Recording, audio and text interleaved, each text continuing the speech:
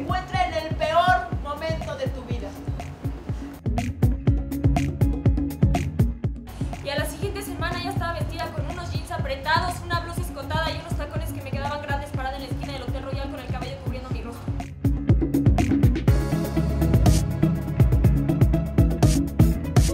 Lo primero es hacer las labores de la casa. Lo segundo